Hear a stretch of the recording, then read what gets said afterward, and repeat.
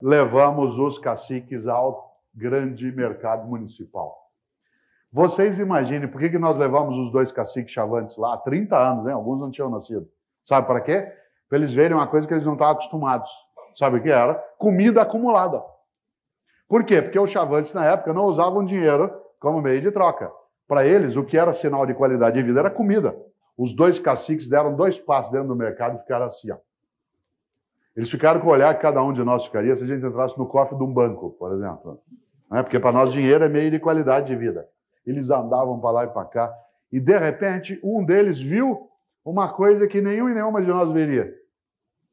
Ele viu, cutucou e falou assim: O que, que ele está fazendo? Ele foi ele quem? Foi ele. Aí ele apontou no chão um menino negro, pobre, a gente sabia que era pobre pela roupa, ele não saberia pegando verdura amassada, tomate pisado, batata estragada. Aí ele falou: o que, que ele está fazendo? Nós falamos: ué, ele está pegando comida. Ele não falou nada, o cacique, ele ficou quieto. Aí ele andou uns 15 minutos sem falar nada, provavelmente pensando. Depois de uns 15 minutos ele voltou e falou assim: Eu não entendi. Por que, que ele está pegando essa comida estragada aqui no chão se tem essa pilha aqui de comida boa? A gente falou, sabe o que, que é? Que para pegar nessa pilha aqui precisa de dinheiro. Ele falou, ah, e ele não tem dinheiro? Nós falamos, não, ele não tem dinheiro. Por que, que ele não tem dinheiro? Nessa hora deu vontade de dar um tapa no olho do cacique.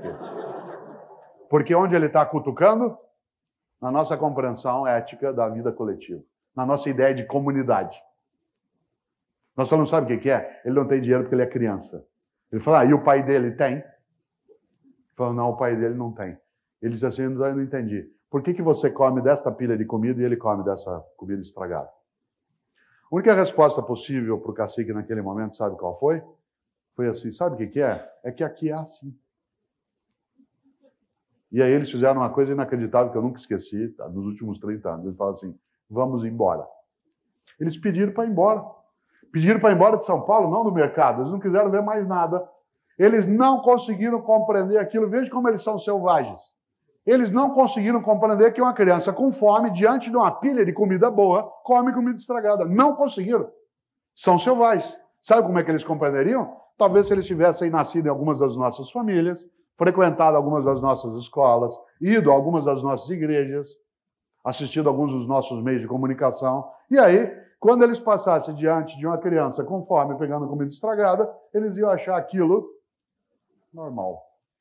Não é normal gente ter fome.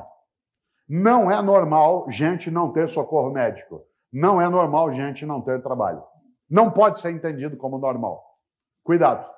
Senão a gente aceita exatamente o falecimento da esperança.